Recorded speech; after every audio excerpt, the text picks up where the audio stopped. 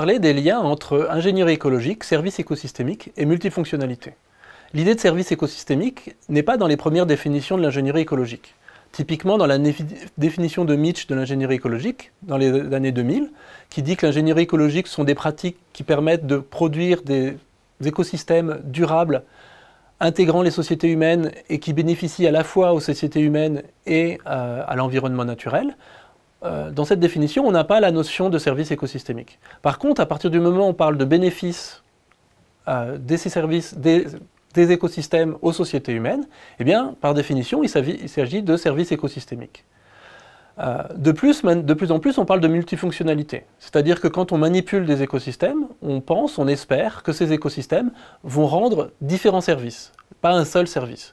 Par exemple, en agriculture, on va devoir à la fois produire de la nourriture, mais aussi réguler euh, le cycle du carbone et euh, réguler les changements climatiques. On va devoir protéger la biodiversité. Donc on doit rendre un certain nombre de services, et c'est ce qu'on appelle la multifonctionnalité, qui a priori est très importante en ingénierie écologique. Du coup, le schéma général est le suivant. Au centre du schéma, on a les écosystèmes et leur fonctionnement. Donc le fonctionnement d'un écosystème, c'est de la biodiversité en interaction avec le milieu physico-chimique. Ces écosystèmes, ils produisent un certain nombre de services, d'approvisionnement, de régulation, des services culturels, et puis ils produisent aussi des disservices. Euh, un exemple de disservice, c'est les moustiques qui vont nous piquer euh, et éventuellement transmettre des maladies. Donc ces services et ces disservices euh, bah, sont un intermédiaire entre les écosystèmes et les sociétés humaines. Ça, c'est la partie de droite du schéma. Et puis, il faut revenir à la partie de gauche, c'est l'impact des sociétés humaines sur les écosystèmes, l'impact de la gestion, l'impact de l'ingénierie écologique sur les écosystèmes. Donc, on sait depuis longtemps que euh, les sociétés humaines ont tendance à impacter négativement les écosystèmes. Impacter négativement, ça veut dire que les écosystèmes vont moins bien fonctionner et probablement rendre moins de services. Finalement, cette, cette idée, c'est à la base euh, de la notion de service écosystémique. On a inventé cette notion à la base pour montrer que les sociétés humaines dépendent euh, des écosystèmes, et puis euh, pour convaincre les sociétés humaines qu'il fallait peut-être mieux traiter les écosystèmes de façon à produire plus de services et à ne pas impacter les sociétés humaines. Donc cette notion de service, service écosystémique sert dans un premier temps à protéger les écosystèmes, et puis on peut aller un peu plus loin, on peut aller vers la gestion, vers l'ingénierie écologique, et puis se dire que l'ingénierie écologique va essayer de, modifier, de manipuler les écosystèmes de façon à produire un certain nombre de services qui sont les services euh, désirés.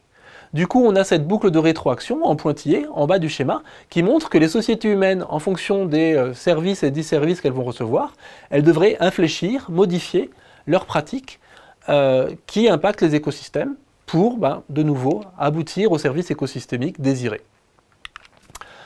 Du coup, on arrive à un défi qui est assez important, c'est celui de la mesure des services écosystémiques produits par des systèmes anthropisés, par des systèmes manipulés. Euh, il y a eu deux tendances. Soit euh, les gens se sont dit, ben, quand on est dans un écosystème manipulé, eh bien, on ne va pas mesurer ces services écosystémiques parce que cet écosystème est manipulé, il ne produit pas de services écosystémiques. Soit il y a des gens qui ont finalement pris en compte euh, les services écosystémiques des systèmes anthropisés, par exemple euh, bah, la production d'un champ de blé, sans prendre de recul et sans se dire que euh, bah, cette production de blé était aussi due à des manipulations humaines qui ne pouvaient pas rentrer dans le cadre des services écosystémiques. Ça, c'est ce qu'on voit sur le schéma du haut. Idéalement, il faudrait pouvoir séparer la flèche bleue, qui sont les services écosystémiques vrais, qui sont vraiment dus au fonctionnement naturel des systèmes écologiques, de la flèche rouge, qui correspond à, l'effet des manipulations. Et puis, euh, bah, ces effets des manipulations, eh ben, ils sont importants à prendre en compte parce qu'on sait que, typiquement en agriculture, euh, bah, ces manipulations peuvent poser un certain nombre de problèmes. Typiquement, on sait que les engrais euh, bah, ils sont très importants pour la production de, blé, euh, mais on sait qu'il y a une partie des engrais azotés qui partent dans la nappe phréatique, qui contaminent la nappe phréatique, et l'eau peut devenir non potable par exemple. Euh, donc idéalement, il faudrait séparer ces services écosystémiques vrais, ce que j'appelle les services écosystémiques nets, euh, bah, des services qui sont liés aux manipulations. Ce qu'il y a, c'est que dans la réalité, mais en fait, ce n'est pas possible. c'est ce qu'on voit dans le schéma du bas. Dans la réalité, tous les mécanismes au sein des écosystèmes sont intriqués, euh, sont mélangés les uns avec les autres, et on ne peut pas vraiment séparer. Typiquement dans un champ de blé, euh, bah, la production de blé, est due à la fois à la photosynthèse, qui est complètement un processus naturel, un processus écologique, et elle est aussi due aux pesticides et aux engrais, qui sont eux sont vraiment un produit de la manipulation humaine et qui posent un certain nombre de problèmes euh, écologiques. Du coup, on arrive à euh, bah, cet état de fait. En fait, la seule chose qu'on puisse vraiment estimer directement, c'est les services écosystémiques bruts, ce qu'on voit en bas dans le schéma du bas. Du coup, si je veux comparer différentes pratiques d'ingénierie écologique, différentes pratiques d'agriculture par exemple, euh, bah, a priori ce qu'il faut faire, c'est euh, mesurer à la fois les services d'approvisionnement, les services de régulation, les services culturels. Il faut aussi mesurer les 10 services. Et alors, quand on mesure ces 10 services, il faut mesurer à la fois les 10 services qui, comme les moustiques, sont a priori liés au fonctionnement naturel de l'écosystème, et puis mesurer des 10 services qui sont liés aux manipulations. Typiquement, les nitrates qui partent dans la nappe phréatique, c'est un, un 10 services qui est lié à la manipulation, à l'apport d'engrais, mais il faut en tenir euh, compte. Il faut tenir compte aussi des changements dans l'état de l'écosystème. C'est cette petite flèche de rétroaction euh, en bas à droite, qui correspond au fait que euh, bah, quand on manipule un écosystème en ingénierie écologique, on espère que cet écosystème, on souhaite que cet écosystème va continuer à être dans un état qui va lui permettre de produire des services écosystémiques.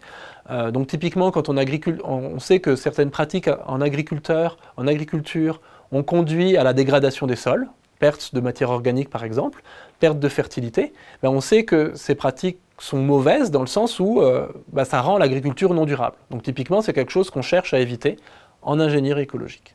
Il y a une dernière chose qu'il va falloir prendre en compte, c'est des coûts environnementaux qui sont directement liés aux manipulations. Je parlais tout à l'heure des nitrates qui rentrent, euh, qui passent dans la nappe phréatique. Donc ça, c'est un disservice qui passe par le fonctionnement de l'écosystème. Mais il y a aussi tout un tas de coûts environnementaux qui sont liés, par exemple, à la production des intrants. Typiquement, euh, bah, ces engrais azotés, ben, pour les produire, il faut utiliser des sources d'énergie non durables, donc c'est un problème. Euh, à chaque fois qu'on va utiliser un camion, euh, un tracteur en ingénierie écologique, eh ben, on va utiliser des combustibles fossiles. Donc on va contribuer au réchauffement climatique. Donc c'est quelque chose qu'il faut prendre en compte aussi. Une autre façon de présenter ça, c'est qu'à chaque fois qu'on va vouloir comparer et évaluer des pratiques d'ingénierie écologique, il va falloir à la fois mesurer, estimer les services écosystémiques, mesurer les 10 services, et puis faire une espèce d'analyse de cycle de vie qui prend en compte tous les euh, coûts écologiques de nos manipulations. Ça conduit à une nouvelle définition de l'ingénierie écologique qui, elle, est basée sur les services. Donc on peut définir l'ingénierie écologique comme un ensemble de pratiques euh, et de techniques qui permettent de produire durablement des services désirés en minimisant les 10 services et impacts non désirés, tout en maintenant la capacité de l'écosystème à fournir ces services. Alors cette définition est un peu nouvelle, en même temps on y retrouve un, certain nombre d'éléments importants qu'on trouvait dans les autres définitions. On retrouve l'idée de durabilité, et puis on retrouve euh, un peu en filigrane la notion d'auto-organisation.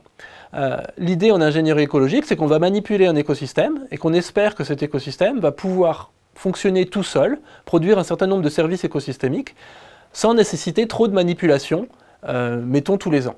Donc typiquement en agriculture, ça veut dire que euh, on va essayer de minimiser les intrants euh, tout en euh, continuant à produire, mettons, du blé.